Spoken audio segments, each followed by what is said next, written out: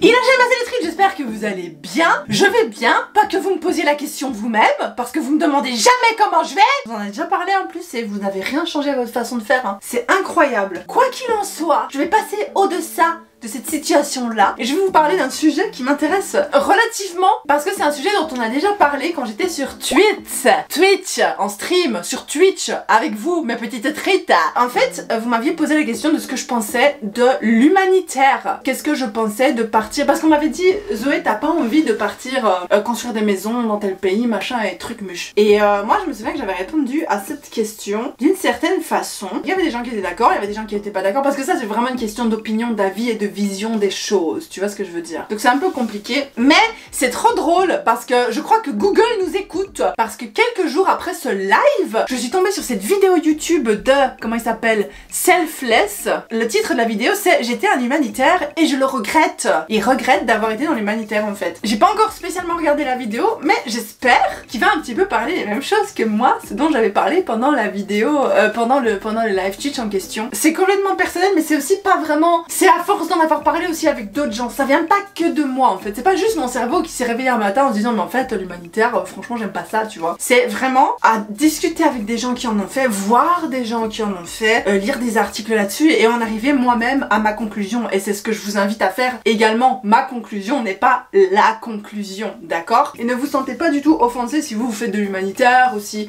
vous pour vous c'est grave votre truc de partir euh, aider les gens dans des pays différents et tout. Vous êtes pas du tout visé par euh, mes propos, genre vraiment pas. Parce que c'est profondément personnel en fait comme point de vue je trouve. Je sais pas de quoi lui va parler exactement, mais moi ce que je voudrais vous dire de ma compréhension de l'humanitaire, euh, faut savoir que je suis pas complètement étrangère à ce, à ce thème. Il faut savoir euh, bah, que pendant longtemps j'ai participé à des, des œuvres caritatives et encore maintenant en fait euh, dans le cadre de l'entreprise de Moshi, on participe souvent à des trucs aussi, tu vois. Donc c'est pas non plus quelque chose, c'est pas non plus un monde que je ne connais pas du tout. Moi ce que je voudrais vous dire, mon problème avec l'humanitaire, c'est que j'ai l'impression que les gens le font plus pour eux-mêmes que pour les, les gens sur place. Parce que si tu le faisais pour les gens sur place, quand tu pars, je te parle pas de l'humanitaire genre donner de l'argent, aller servir la soupe, euh, tu sais la soupe populaire machin, je te parle de partir dans un pays pauvre et d'aider des gens pauvres. Déjà, pour moi, c'est personnel mais ça renforce l'idée que genre, parce que souvent vous allez pas mentir, souvent l'idée c'est de partir dans un pays euh, africain où il y a des noirs et tout, tu vois. Mais genre, l'Afrique n'est pas spécialement pauvre, c'est un peu notre notion de, tu sais, c'est quand c'est comme quand t'étais petit et on en avait parlé pendant, pendant le live euh, pendant le live Twitch également, c'est un peu la notion de quand t'es petit, que ta maman te dit ah ouais tu dois tout manger parce que tu te rends compte il y a des petits africains qui ont pas à manger quoi. Mais tu sais des, des gens qui ont pas à manger, il y en a partout en fait. Il y en a pas qu'en Afrique quoi. Euh, Il y en a dans tous les pays, tu sais au Brésil dans les favelas, en Belgique t'as des gens qui crèvent la dalle. Enfin je veux dire, tu pourrais dire ouais mais il y a des enfants qui ont pas à manger. Non tu dis ouais les petits africains ils ont pas à manger. Je sais pas, moi c'est juste j'ai été élevée là-dedans et du coup j'étais en mode ah l'Afrique c'est un pays pauvre jusqu'à ce que j'y aille. Été en Afrique, soeur a fait un Erasmus en médecine là-bas et j'y étais pendant un mois. C'était pas pauvre Et j'étais là genre on m'a menti tu vois ce que je veux dire? J'étais à Cape Town et compagnie, ma soeur elle a vécu des super expériences, elle racontait des trucs, c'était vraiment super intéressant, tu vois, elle a appris plein de choses et tout. Si elle est partie en Erasmus là-bas, c'est quand même qu'il y avait quelque chose pour elle à apprendre sur place. Où je rêve. Sinon tu pars pas en Erasmus dans un pays euh, qui a pas de médecine développée, machin et tout, tu vois. Non, elle a travaillé dans un hôpital là-bas et compagnie. Il y a des choses qui l'ont choquée, il y a des choses qui l'ont impressionnée, blabla tu vois, blabla. On a été dans des, je sais plus comment ça s'appelle. J'ai le mot au bout de la langue, je l'avais juste avant de commencer la vidéo en me disant je vais parler de ça et j'ai oublié le nom de l'endroit où il y a des espèces de bidonvilles comme ça, tu vois. Oui, mais il y en a partout. Je vous en ai montré même un au Japon. Donc il y en a partout. Enfin bref. Et j'ai l'impression que c'est souvent l'humanitaire. Je, personnellement, moi je vois pas l'intérêt de dépenser un billet d'avion, de dépenser genre quand t'es sur place la nourriture machin et compagnie, alors que t'as des gens déjà chez toi à aider de 1. Ça c'est quelque chose que j'avais appris. J'avais appris ça en sociologie, en anthropologie historique ou je sais plus comment ça s'appelait mon cours, mais c'était un, un cours que j'aimais trop. Et ça j'avais appris aussi. C'était super intéressant. C'était à l'ISTI. J'avais un prof génial à l'époque, même si je me souviens plus du nom du cours, parce que j'avais deux, j'avais deux profs qui parlaient beaucoup de ça. Le mec m'avait expliqué, nous avait expliqué à tout l'auditoire, qu'en fait lui il avait vécu en Afrique et tout machin, et il avait expliqué qu'il y avait plein de gens hyper compétents sur place et qu'on n'avait pas besoin de faire venir des gens de l'autre bout du monde, de payer un avion.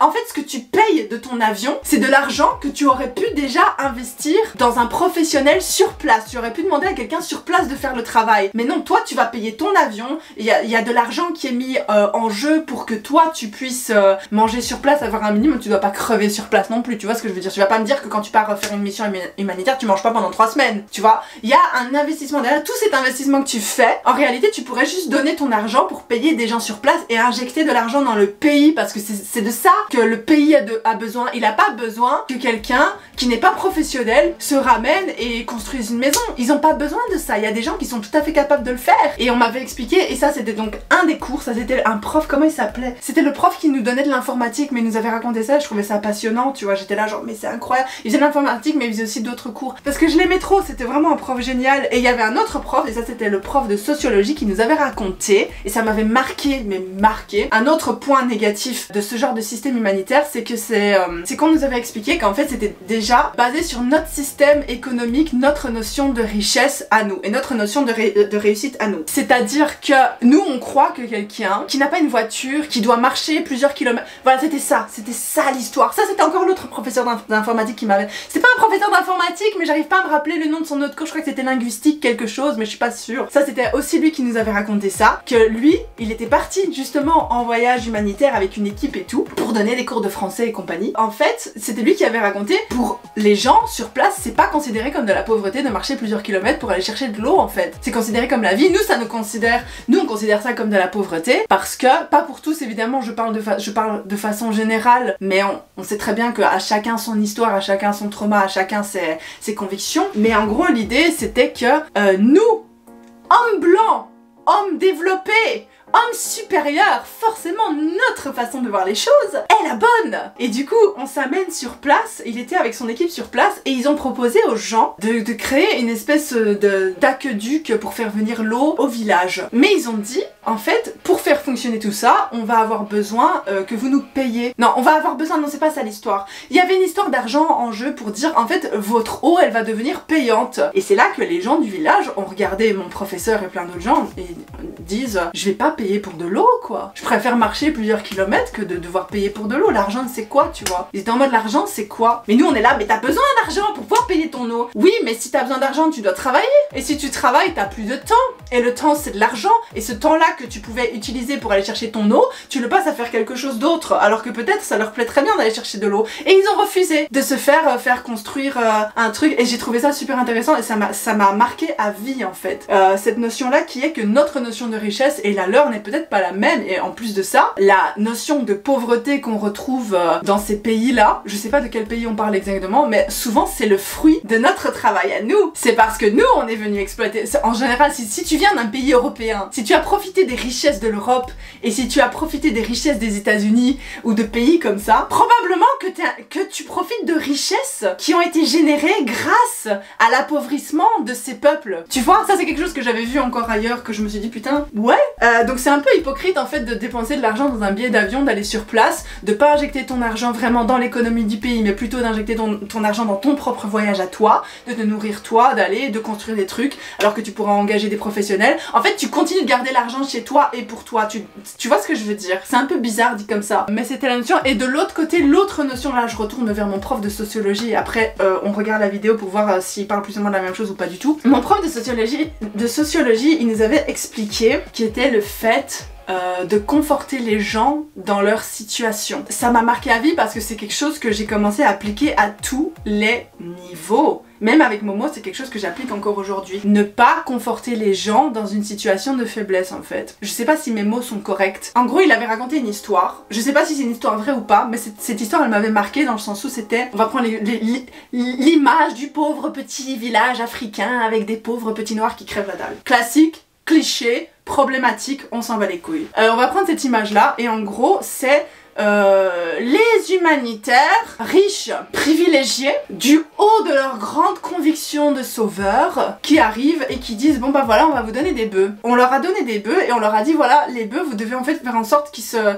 les vaches les vaches vous devez faire en sorte qu'elles se reproduisent, qu'elles fassent du lait et tout, comme ça vous aurez euh, du lait et tout. Mais en fait, au bout d'un mois, ils avaient mangé toutes les vaches. Au lieu de les utiliser pour euh, faire de l'industrialisation, l'industrialisation, au lieu de les utiliser pour ça, ils ont mangé toutes les vaches. Et quand on leur a dit pourquoi vous avez mangé toutes les vaches, je sais pas si c'est une histoire vraie, mais c'était un exemple qu'ils nous a donné, ils ont dit bah vous allez nous en donner d'autres de toute façon. Et c'est comme ça pour tout. Et ça s'applique pas que pour ce genre de situation là, ça s'applique comme quelqu'un qui prend de la drogue. Euh, tu confortais les gens dans leur euh, ou dans leur... Je dis pas qu'ils sont paresseux ou quoi, je dis pas... Pas du tout, je dis pas que si t'es pauvre c'est parce que t'es paresseux, c'est parce que tu veux pas faire. Mais en gros, par exemple, je vais vous donner un exemple qui est basé sur moi et je pense qu'il parlera à beaucoup de gens. Quand je suis arrivée aux états unis je n'avais pas mon permis de conduire. Pour la simple et bonne raison que j'en avais pas besoin puisque je vivais à Bruxelles et puis j'ai vécu au Japon. Donc euh, pas besoin de permis de conduire quoi. Et en fait, euh, Mochi me disait depuis que je suis arrivée aux états unis ça fait 5 ans que j'y suis, il me disait tout le temps Zoé, il faut que tu passes ton permis de conduire, il faut que tu passes ton permis de conduire. Mais le problème c'est que Mochi, quand je devais aller quelque part, il me conduisait, il me conduisait partout et du coup bah je, je prenais le Uber, je prenais le Lyft parce que c'est une autre entreprise de type Uber qui existe aux États-Unis. Et en fait, j'ai jamais passé mon permis de conduire et puis finalement, je me suis retrouvée avec poids et avec poids, j'arrivais à prendre le Uber et le Lyft parce que j'avais un siège qui se plaquait sur euh, sur ma poussette. Et en fait, comme ça, à force même euh, en Belgique, tout le monde me conduisait partout où je voulais aller. Et c'est juste quand poids a commencé à devenir trop grande pour son siège auto et que j'ai dû commencer à acheter un vrai gros siège auto qui doit rester tout le temps dans la voiture et tout, euh, que là, les choses ont commencé à se gâter parce que même Mohi m'a dit, mais moi en fait, c'est impossible pour moi que je te conduise que je te conduise avec Popo à l'école tous les jours quoi ou qu'on fasse des trucs. C'est impossible en fait. Je vais pas pouvoir te conduire. Il faut que tu vas pas pouvoir aller euh, là où t'as besoin d'aller chez le docteur et tout parce que moi la journée je travaille quoi. Je suis pas là en fait. Et c'est là que j'ai commencé à me bouger le cul. C'est au moment où en fait euh, ça a commencé à devenir vraiment très très difficile pour moi et je me suis bougé le cul j'ai passé mon permis. C'est ça que j'essaie de vous expliquer. Que c'est comme quelqu'un qui dépense plein d'argent dans plein de trucs et qui se dit et qui à chaque fois il dit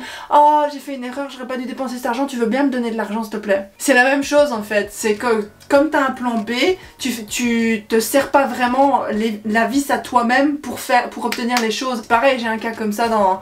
Bon, je vais pas parler de mes trucs personnels, hein, mais j'ai un cas comme ça dans ma famille aussi. Ils, doivent réparer un truc dans leur maison, mais ils vont s'acheter un téléphone avant, tu vois, parce qu'ils savent très bien que s'ils doivent faire réparer un truc dans la maison, il y a un tel qui va payer pour eux parce qu'on veut pas qu'ils soient dans la merde, parce qu'on va pas les laisser dans la merde. Et ben c'est à peu près ce concept-là. C'est qu'on ne leur apprend pas euh, à assumer. Voilà, c'est ça l'idée, parce que de toute façon ils savent que quelqu'un va ramasser les, dégâts à la petite cuillère derrière. Et ça c'était une théorie, du coup, que mon prof de sociologie nous avait expliqué. C'est pour ça que mon prof de sociologie expliquait que l'humanitaire en fait ça pouvait être très très très très mauvais pour le développement d'un pays et d'un peuple en général. Et c'est aussi le peuple finalement considère l'homme blanc, on parle de l'homme blanc mais l'homme occidental, l'homme qui vient des pays riches, même le noir qui vient des pays riches, l'arabe qui vient des pays riches, il les considère en fait comme un être supérieur qui va venir nous, nous sauver.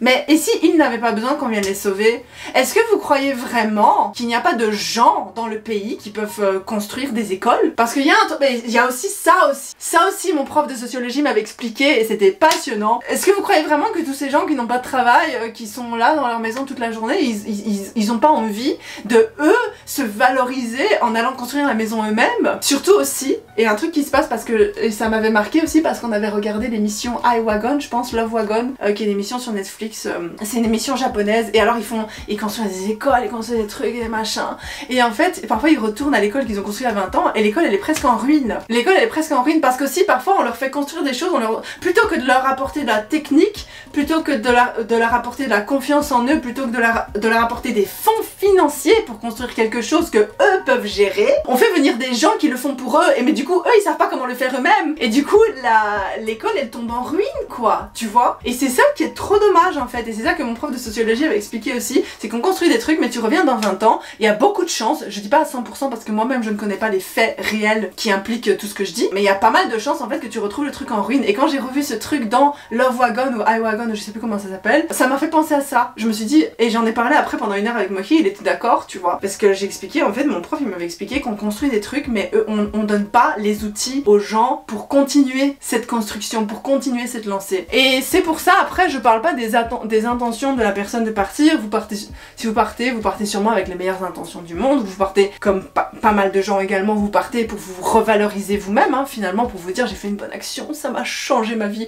Genre, ok, tu vois, je dis ça un peu de manière euh, condescendante, mais pas du tout. En fait, je comprends tout à fait euh, qu'un voyage comme ça puisse changer votre vie, tu vois, de, de voir vraiment. Quand j'étais en Afrique du Sud, ça m'a changé ma vie aussi. Quand j'ai été dans les bidonvilles, ça m'a changé ma vie, ça m'a changé ma vision de tout. Quand au Japon, ça m'a changé ma vision de tout. C'est tout à fait normal. Le voyage, ça te change, que ce soit un voyage humanitaire ou non. À part si c'est un voyage dans un hôtel, euh, tu vois. Mais sinon, globalement, oui, c'est normal que ça te change. Mais bref, euh, voilà, ça c'était mon avis sur la question. C'était pourquoi, c'était la raison pour laquelle j'étais pas super pour partir dans le cadre de voyage humanitaire. Mais je suis pas contre l'humanitaire de manière générale. Euh, on donne souvent de l'argent, euh, on fait souvent des petites actions pour aider les enfants et tout ici. Mais dans, notre, dans notre zone aussi, parce qu'il y a des gens qui ont besoin d'humanitaire chez nous aussi, tu vois ce que je veux dire? Bref, commençons la vidéo. I was a global. I traveled around the world building homes, building schools. Voilà, tu vois, c'est ça. Il, il construisait des choses. Donc je suis sûre, je suis presque sûre que ça va, ça va aller par là. Euh, construire des maisons. Bon, après, là, je vois qu'il est au Japon. Pas du tout, en fait. C'est peut-être une origine complètement différente. Parce que je dis, si, c'est pour partir au Japon pour aider les gens euh, victimes du, tsunami, c'est encore une autre histoire. C'est encore différent. On parle pas d'un pays pauvre, tu vois. Moi, je te parle vraiment des pays pauvres. Je te parle pas d'aller aider quand euh, ton village a été détruit par, par un tsunami et qu'on a besoin de main-d'œuvre pour reconstruire les trucs alors qu'ils savent très bien le reconstruire tout seul, mais on a juste besoin que ça se construise vite. Et du coup, on a besoin de gens, tu vois. C'est différent. L'humanitaire, dans ce sens-là, l'humanitaire dans les catastrophes naturelles, c'est un autre univers, d'accord? C'est pas du tout de ça que je parle.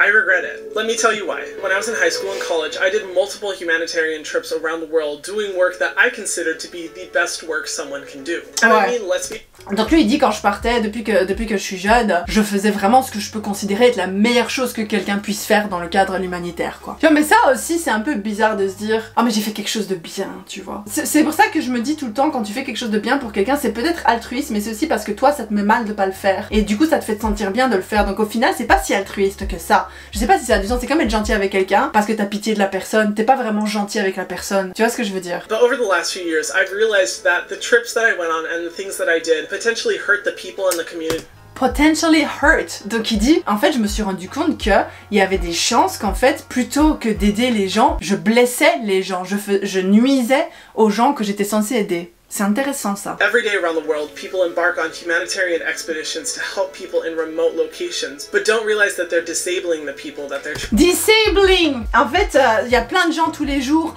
qui partent dans des voyages humanitaires pour aider les gens, mais ils se rendent pas compte en fait qu'ils les empêchent d'être des, des, Ils empêchent les, les, les peuples qui vont aider d'être fonctionnel. On empêche les peuples de fonctionner par eux-mêmes en faisant ça. With the rising popularity of high school and college humanitarian trips, service expeditions and church volunteer opportunities, a lot of people aren't talking about the bigger Tu vois qui dit opportunities. C'est une opportunité, c'est une chance, c'est une option que tu as, tu vois. C'est déjà bizarre, tu vois. C'est pas genre une obligation c'est pas, c'est une option, c'est fun. Tu vois, tu pars en voyage humanitaire, t'as l'opportunité de partir, t'as l'opportunité de partir vivre au Japon, t'as l'opportunité de faire des études dans ça, t'as l'opportunité de faire un voyage humanitaire. C'est normal de parler d'opportunité? Je sais pas, ça, ça c'est personnel, hein. Je jette la pierre sur, sur personne, mais est-ce que c'est normal de parler d'opportunité quand on parle d'humanitaire? Est-ce que ce serait pas l'inverse? Est-ce que, est-ce que ça devrait pas être des opportunités pour les gens sur place? Il veut changer ça, ok. And I've actually worked as a non-profit consultant with multiple non-profits to ensure that their entire system was non-toxic and only helping to empower the people that they were trying to help. As we delve into this issue, voilà, donc lui il parle de empowering, donc mettre euh,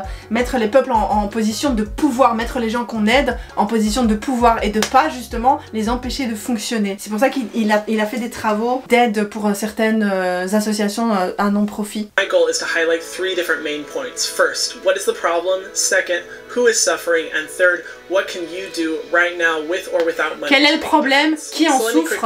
Et qu'est-ce qu'on peut y faire? Avec ou sans argent? It was me and other 17-year-olds that were given the task of building a home for hurricane survivors that had previously had their home destroyed. Donc ça c'est encore différent. C'est construire pour... Euh, dans les Fidji il a été parce qu'il y a eu un, un ouragan et donc euh, il va rencontrer les, les maisons, donc c'est différent encore, je trouve. Upon returning home from that trip, I was a completely Et ça l'a complètement changé, évidemment. left and the person who came back was night and day. And the sole focus of my life after that was making a positive difference in the world and helping people. I went on another humanitarian trip to Et Africa, did more humanitarian Après ça, il a commencé à partir dans plein de, de, de voyages euh, humanitaires. En Afrique. the South Pacific. And over my time of going through those experiences, I witnessed a lot of things that didn't seem quite right to me, which contributed to the larger knowledge that I have now about how humanitarian trips are toxic. You may be watching this Il feeling dit bien, hein, les, les voyages humanitaires sont toxiques en fait. So first, what is the problem and who's struggling? Le problème. First, humanitarian trips promote Promote reliance C'est pas ce que je viens de vous expliquer? Ça met en avant le fait de dépendre de quelqu'un. Yes mentality among the people that they're trying to help. When I went on my first humanitarian trip, my mindset going into the country was thinking, I want to help in some way and fix a problem that they can't fix themselves. Tu vois, il veut, là la phrase elle est super intéressante, il veut s'occuper du problème dont eux ne sont pas capables de s'occuper. C'est important, le choix des mots est très important. Pourquoi toi tu pourrais réparer ce problème? Pourquoi y a pas des gens sur place qui pourraient le faire? But upon arriving in the country and starting to build the house, we quickly realized that the local people who lived there had the same, if not better, Les gars, je pense que j'ai tout dit dans, dans, dans, dans mon introduction en fait. Il dit exactement ça. Il dit, en fait, il s'est rendu compte qu'en arrivant sur place, les gens étaient parfois beaucoup plus capables que lui de faire les tâches qu'il était censé faire. Mais évidemment, c'est un gamin. Qu'est-ce que moi, Zoé, linguiste, je vais aller foutre euh, dans un pays africain euh, euh, euh, soi-disant pauvre pour euh, construire des maisons Qu'est-ce que j'y connais en construction de maisons? They were much more equipped and fit to build a house more than a group of 17 year olds were. And we Yes. were actively encouraged to stop and prevent the locals from trying to help in building the house because we were the ones who booked this trip to come to the country and fix this problem. This Ok, donc ils empêchaient les gens qui étaient plus, je sais pas si c'est le cas dans tous les dans tous les hum, trucs humanitaires, hein, mais ils, ils devaient empêcher les gens qui étaient plus euh, qualifiés qu'eux euh, de faire les constructions parce que eux étaient là pour ça. But the problem that this creates in communities is that it spreads the message to them that they are not able to fix their own problems. Ok. It disables Donc, ça leur fait penser-. Ok, Not ça leur fait penser qu'ils sont pas capables de régler le problème eux-mêmes, en fait. humiliation. Try to empathize with that Humiliation. yourself. Travels all the way there to do that project for you. C'est super intéressant ce qu'il vient de dire. Il dit, imagine comment ça te ferait sentir en fait que t'as un problème et tu dois le régler et le seul moyen pour toi de le régler, c'est qu'il y a un groupe de jeunes qui viennent d'un pays complètement différent, soit injectés dans le pays et, le, et règlent le problème pour toi. Comment tu te sens? Comment tu te sentirais en fait? People started to think, wow, not only can I not support myself, I need the assistance of people from another country. to J'ai be besoin d'aide de quelqu'un d'un autre pays quoi pour m'aider.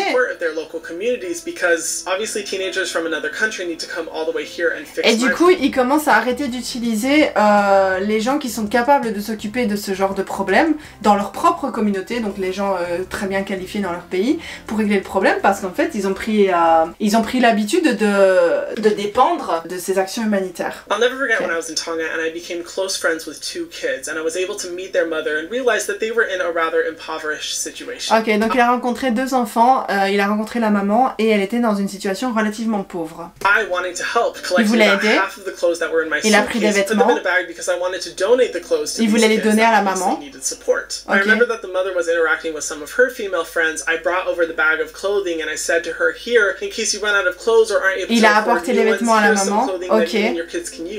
That you and your kids can use." Ugh, and I will never forget her face. It was pure humiliation. Et elle s'est sentie humiliée, évidemment. friends that I was telling her, "You are not able to support yourself." Ça me rappelle quelque chose qui m'est arrivé il y a longtemps avec une amie euh, avec qui je n'ai plus de contact aujourd'hui et j'avais pas trop compris sa réaction à l'époque. Mais en gros, elle avait pas beaucoup d'argent et je me souviens que j'avais euh, apporté plein de, de canettes de, de canettes de nourriture qu'il y avait euh, dans ma maison qu'on n'utilisait pas et que ma maman m'avait donné et on l'avait apporté à mon amie en fait. Et je me souviens qu'elle était super, elle était super contente. Elle avait vraiment, elle a dit c'est vraiment super gentil. Mais je me souviens qu'elle était aussi un peu fâchée. Je me souviens plus trop comment, c'était a longtemps, j'avais 17 ans quoi. Je me souviens plus trop comment la discussion s'est faite, mais j'ai compris en fait qu'en fait elle était un peu fâchée, que, que je crois qu'elle ait besoin que moi euh, c'était une personne qui avait 30 ans à l'époque, qui avait besoin que moi je lui apporte des, des trucs, tu vois. Elle s'est dit, c'est bon, je peux me débrouiller toute seule, enfin, qu'est-ce que t'as besoin de venir m'app- m'apporter des trucs, tu vois? Ça me fait penser à cette situation-là. Number two, it disempowers communities. Donc le deuxième point, c'est euh, ça enlève le pouvoir des, des, commu- des, com- des communautés. J'ai l'impression que c'est un peu la même chose que le point précédent. The community needs help. They don't know how to help themselves or they don't have the materials to do so, and we'll go in and fix it for them. And this oftentimes leads to unsustainable solutions. Unsustainable solutions, donc des, des, des, des solutions qui ne sont pas durables sur la longévité. C'est ce que je vous ai parlé avec l'école par exemple. Would break within a few months of being built. Voilà, c'est de ça que je parlais, c'est exactement ça. Mais en gros, lui, il, y va un petit peu plus en profondeur que ce que je disais. Et il dit ça de façon un peu plus intelligente. Il explique qu'en fait, les gens, ils viennent construire des, des puits, par exemple. Il donne l'exemple de puits. Ils sont venus construire des puits, mais ils n'ont pas essayé de comprendre est-ce que les gens vont être capables d'entretenir les, les puits? Quels sont les problèmes qu'il y a eu avant ça? Est-ce qu'ils ont les moyens de continuer euh, avec ce système-là? Est-ce que c'est vraiment un puits? Est-ce que vraiment construire un puits est la solution au problème? De la même façon, est-ce que construire une école dans, dans le truc iWagon était vraiment la solution au problème? Enfin, tu vas pas me dire que s'ils veulent vraiment apprendre des trucs, ils peuvent pas le faire euh, dans un parc ou tu sais, dans la nature, ils peuvent aussi s'asseoir tous ensemble et, apprendre des choses, tu vois. T'as pas besoin forcément d'une école, du bâtiment de l'école pour y aller et apprendre des choses. Moi, c'était ça que je m'étais dit quand, j'a- quand je les avais vus construire l'école, tu vois. J'étais genre, est-ce que t'as vraiment besoin d'une école en tant que telle pour apprendre des choses? Est-ce que tu peux pas, genre, apprendre en petits groupes de personnes euh, Est-ce que ce serait pas mieux, euh, je sais pas, de payer des professeurs, de mettre cet argent pour payer des professeurs je sais pas? Wasted all of that effort and money that was used to create it. Ok, donc ça, c'est du, du gaspillage d'argent en fait, gaspillage d'efforts.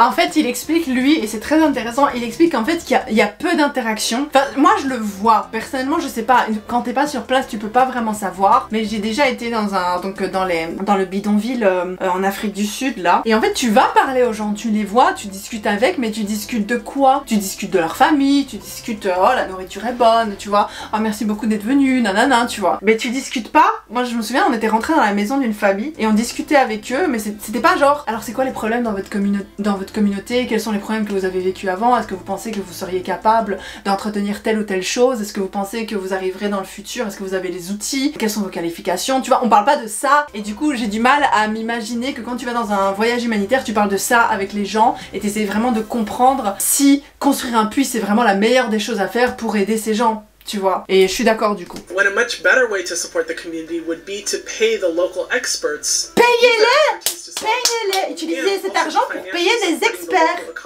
et des gens qui connaissent la situation de la communauté en question. 3.